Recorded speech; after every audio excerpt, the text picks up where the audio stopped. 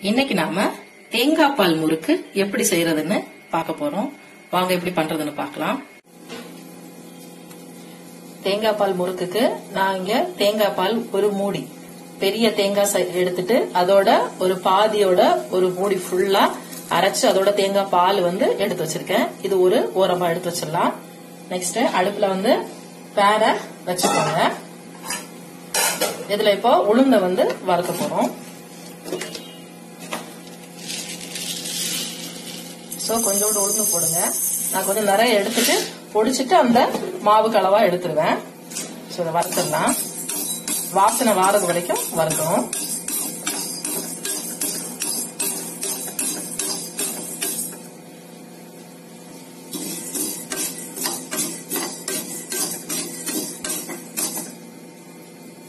So பாத்தீங்கன்னா கொஞ்சம் வாசனை வர ஆரம்பிச்சிச்சு. போதும். இதுக்கு கூட கொஞ்சோண்டு பொட்டுக்கடலை. அதாவது நீங்க உளுந்து எந்த அளவு எடுக்கிறீங்களோ அந்த அளவுக்கு பொட்டுக்கடலை எடுத்து லைட்டா ஒரு சூடு காட்டுங்க. ஏன்னா உளுந்து ஆல்ரெடி வெந்துச்சு. ஸோ இப்போ இது ஜஸ்ட் ஒரு சூடு தான். ஏன்னா பொட்டுக்கடலை வந்து வறுக்க வேண்டிய அவசியம் கிடையாது. சோ இதை இப்போ ஆற விட்டுலாம் ஆற விட்டு பொடிச்சு எடுத்துடலாம். இப்போ ஒரு கப்பு மாவு. இந்த ஒரு கப்பு ஃபுல்லா எடுத்திருக்கேன். ஒரு கப்பு வா- மாவுக்கு ஒரு கால் கப்பு நம்ம உளுந்து பொட்டுக்கடலை மாவு வந்து எடுக்கிறோம். எப்பவுமே ஒரு கப்புக்கு கால் கப்பு. ஞாபகம் வச்சுக்கிடுங்க. ஒரு கப் அரிசி மாவு எடுத்தீங்கன்னா நீங்க கால் கப்பு உளுந்து பொட்டுக்கடலை மாவு வந்து போட்டுடணும். நான் அதை மிக்சியில அரைச்சு அதை ஜலிச்சு ஆல்ரெடி வச்சிருக்கேன். சோ அத அந்த மாவு தான் நான் இப்ப எடுக்க போறேன்.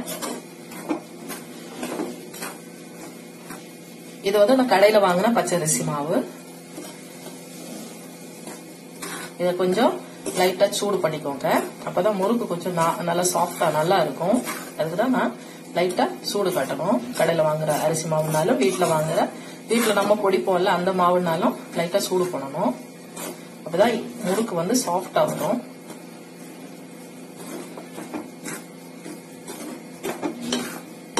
தீயாம பாத்துக்கிடுங்க. லைட்டா கூட நிறம் மாறக்கூடாது.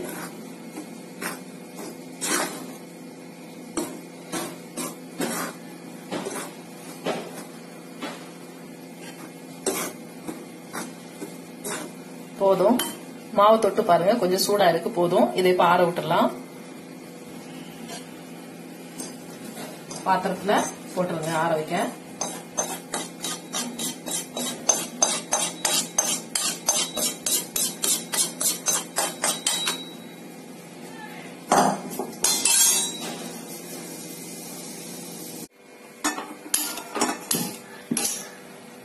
இப்போ தேங்காய் பால் என்ன பண்ணிடுங்க? லைட்டா சூடு பண்ணுங்க.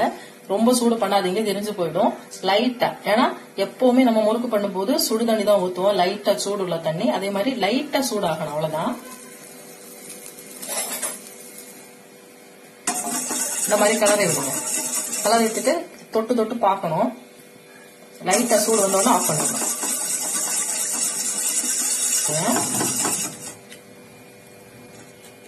போதும்.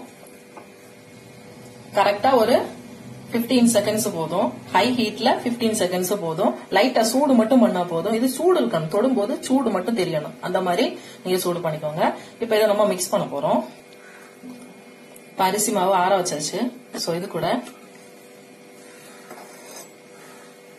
கால் கப்பு உளுந்து பொட்டுக்கடலை மாவு. நீங்க பொட்டுக்கடலை பிடிக்கலன்னா பொட்டுக்கடலை போட வேணாம். அது கூட நல்லா தான் இருக்கும். ஆனா அது கொஞ்சம் உடம்புக்கு நல்லதுங்கிறதுக்காக நான் வந்து இந்த மாதிரி பண்றேன். உங்களுக்கு எக்ஸ்ட்ரா வந்து உளுந்து மாவு போடணும்னா நீங்க எக்ஸ்ட்ரா வந்து போடலாம்.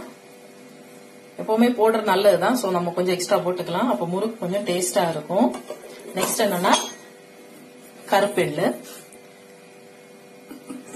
இது கூடவே பெருங்காயத்தூள்.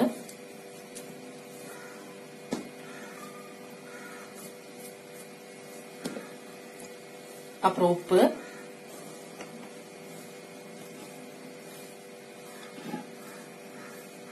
உப்பு ரொம்ப கம்மியா இருக்கிற மாதிரி இருந்துச்சுன்னா நீங்க வந்து செக் பண்ணுங்க. ஃபர்ஸ்ட் ஒரு தடவை முறுக்கு போடும்போது உப்பு இருக்கு கரெக்டா இருக்கான்னு பார்த்துட்டு அதுக்கப்புறம் வந்து நீங்க நெக்ஸ்ட் முறுக்கு பிள்ளைங்க ஏன்னா உப்பு வந்து தெரியாது. சாப்பிடும்போது உப்பு இருக்கிற மாதிரி இருக்கும் ஆனா முறுக்கு கொஞ்சம் தூக்கலா இருந்தாதான் நல்லா இருக்கும். அதுக்குன்னு அதிகமாவும் போடாதீங்க. ஸோ நல்லா மிக்ஸ் பண்ணியாச்சு. இப்போ நம்ம இதுல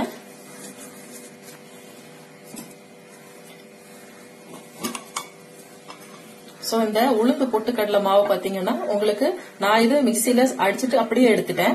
உங்களுக்கு சப்போஸ் அது ஃபில்டர் ஒழுங்கா வந்து அரையல் அந்த மாதிரி இருந்ததுன்னா நீங்க வந்து ஃபில்டர் பண்ணி கூட எடுக்கலாம். நல்லா ஜலிச்சு அந்த நர நரன்னு இருக்கிறதெல்லாம் இல்லாம நல்ல சாஃப்டாவும் கிடைக்கும். அந்த மாதிரி கூட எடுக்கலாம். எனக்கு இது மிக்ஸி வந்து நல்லா கிரைண்ட் ஆனதுனால நான் அந்த- அந்த அப்படியே எடுத்து இந்த மாவுல வந்து போட்டுட்டேன். சோ நம்ம இதுல இப்போ தேங்காய் பால் ஊத்த போறோம். தேங்காய் பால் சூடா தான் இருக்கும். ஆனாலும் நீங்க வந்து உளுந்து புடிச்சு கரெக்டா வந்து கொஞ்சம் கொஞ்சம் விட்டு பிசைஞ்சிட்டே இருக்கணும். சூடா இருக்கும். பாத்துக்குங்க முடியலன்னா முதல்ல ஸ்பூன் போட்டு பண்ணிட்டு அடுத்து ஆற வச்சு கைய வச்சு பண்ணுங்க.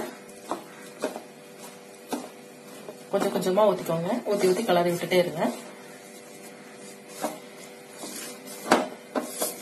உங்களுக்கு வெண்ணெய் போடணும்னா நீங்க வெண்ணெய் கூட போட்டுக்கலாம் இல்ல ஆயில் கூட போட்டுக்கலாம். அது இல்லைன்னா நெய் கூட போட்டுக்கலாம். நான் இங்க வெண்ணெய் எதுவும் போடல. ஆனா எண்ணெய் ஊத்துவேன் இப்ப கிடையாது. சூடு பண்ண எண்ணெய் தான் நான் ஊத்துவேன். சூடு பண்ண எண்ணெய் ஊத்துனா இன்னும் கொஞ்சம் நல்லா சாஃப்டா இருக்கும். நல்லா இருக்கும் டேஸ்டா இன்னும் கொஞ்சம் தேங்காய் பால் ஊத்திடலாம். இந்த மாதிரி கொஞ்சம் கொஞ்சமா போட்டு மிக்ஸ் பண்ணிட்டே இருங்க.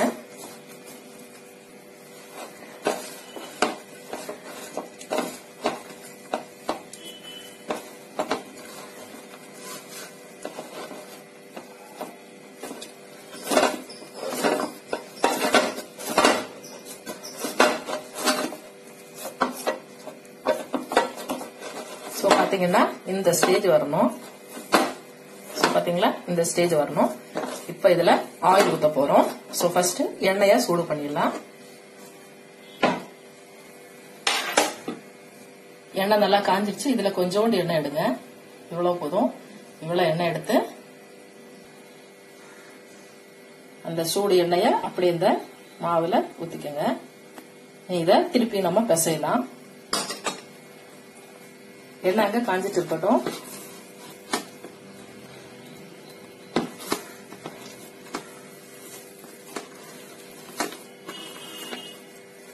நல்லா சூடாக இருக்கும் ஸோ பார்த்து பண்ணுங்கள்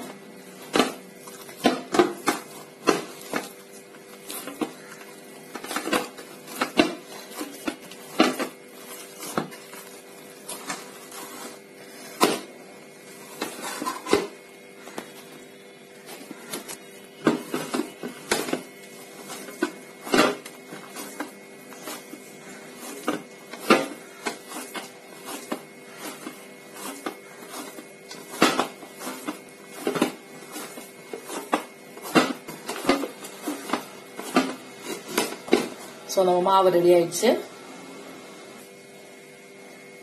ஸோ இந்த மாதிரி அச்சு எடுத்துக்கோங்க. எடுத்து நம்ம இப்போ இந்த முறுக்கு நாளில போடலாம்.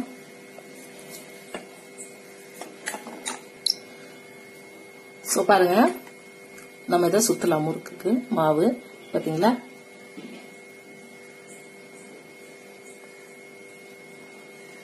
போதும். இது அப்படியே எண்ணெயில போட்டலாம். ஸோ பார்த்தீங்கன்னா வேகட்டும்.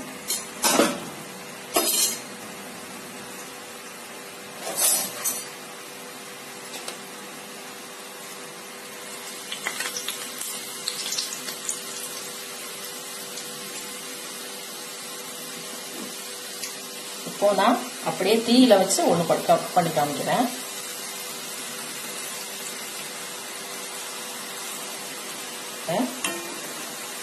மீடியம் ஹீட் வச்சா போதும். ஹை ஹீட்டும் வேண்டாம் லோ ஹீட்டும் வேண்டாம். மீடியம் ஹீட் வச்சுக்கோங்க.